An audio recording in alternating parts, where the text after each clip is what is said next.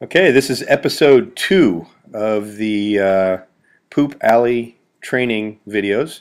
Uh, yesterday we brought Karma here to uh, work at this location specifically to see about uh, how she handled a brand new area where there's tons of uh, yard dogs walking back and forth depositing uh, their deposits here and there.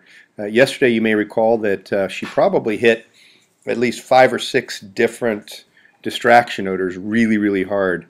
Uh, and the trail, though pretty decent, still took quite some time to finish. Here, you're going to see we really only hit one, and the entire trail was 2 minutes and 37 seconds.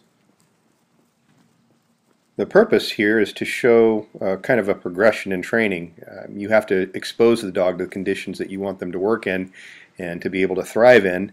Uh, and if they don't do so well or they have particular problems that you have to correct, uh, once you've done this, it's important that you come back and do it again. You keep doing it until you have the trailing behavior that you want to have.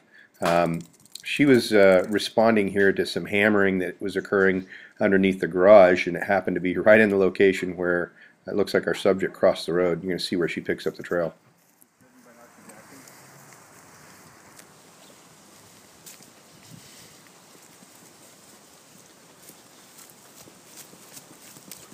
I got a good boot print right there.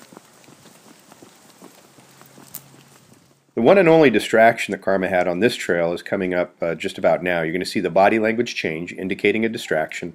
A little bit different though. This time she immediately looks back at me to see if I'm going to correct her. Uh, she still goes through with it, so I have to correct her and she goes back to work. That particular deposit was probably made this morning.